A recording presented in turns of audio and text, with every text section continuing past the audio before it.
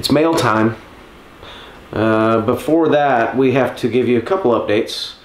Like we recently just had a really good experience at Inks Lake. That's right. We uh, we went out to Inks Lake. We were invited by Boho Bushcraft, and that was a great time. As a matter of fact, part one is about to hit Patreon, and he is making part two.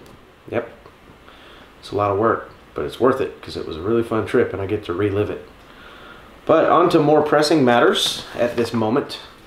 We got some mail today, and uh, to our surprise, it came from another YouTube channel, Matt Outdoors. We'd like to say thank you, and we would like to open this right now and find out what's in here. All right, so it is double wrapped the safe way. First and foremost, there's a card in here. Uh, True Texan Lures, Matthew Reed.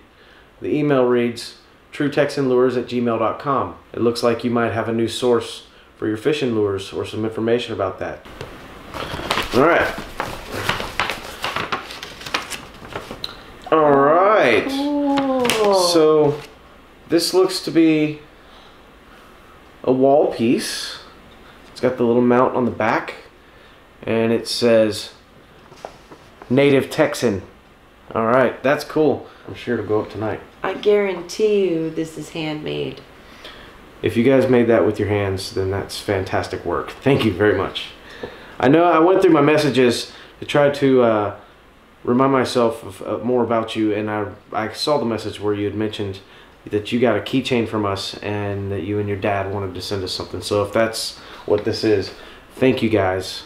That means a lot. Cool. All right, well, we're going to put it on the wall. We're going to go to bed. Like Melody said, we've got some videos coming out that are going to knock your socks off. Stay with us. Tell your friends. I'm Clint. A melody.